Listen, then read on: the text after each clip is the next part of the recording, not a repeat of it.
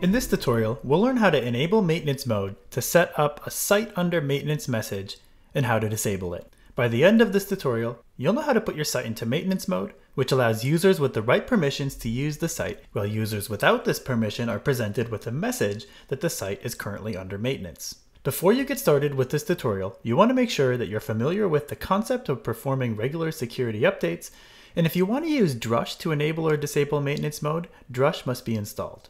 See the written version of this tutorial for links to each of these prerequisite tutorials.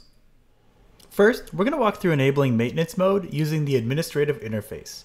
In the Manage Administrative menu, navigate to Configuration.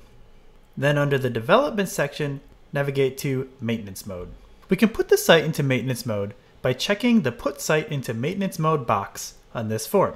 We can additionally specify the information that is shown to website visitors when maintenance mode is enabled. Placeholders, such as at site, can be used in the message. Let's use the text at site is currently under maintenance mode. We should be back shortly. Thank you for your patience. Once we're happy with the text, we can click Save Configuration. You can verify that your site is in maintenance mode by accessing it from another browser where you are not logged in. If for some reason it doesn't appear to be working, try clearing the cache so that the settings take place. Additionally, when you're logged in as a user that has permission to view the site in maintenance mode, you should see this message, operating in maintenance mode, displayed on all pages. In order to disable maintenance mode, we'll navigate back to the maintenance mode configuration page.